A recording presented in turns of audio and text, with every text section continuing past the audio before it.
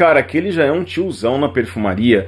Mas, gente, eu cheirei essa fragrância uma vez e eu me apaixonei. Eu sempre falo aqui, né? É um dos melhores da minha coleção, um dos melhores da minha coleção. Mas não é, gente, que a gente tem muitos melhores da coleção. E esse aqui é um deles, tá? Eu acho que se colocar um top 10 ele entra.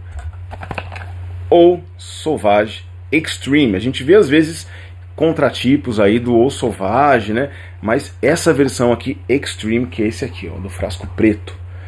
Gente, isso aqui é coisa de louco, tá? É um perfume aromático, é um perfume que traz ali um, uma lavanda muito forte, com um manjericão, parece ter um toque verde, até de hortelã refrescante, mas ele tem uma pegada verde que puxa, tá? Tem um toquezinho um pouco vintage nele. Isso aqui é fantástico, gente. Amadeirado, masculino. Traz também aquela intensidade de madeira de floresta, de musgo de carvalho. Isso aqui é demais, galera. Isso aqui é demais. Tem que ser lançado, gente. Lancem, tá? Não importa que não é lançamento. Isso aqui é um clássico. O Sauvage Extreme, os perfumes que eu mais gosto de sentir.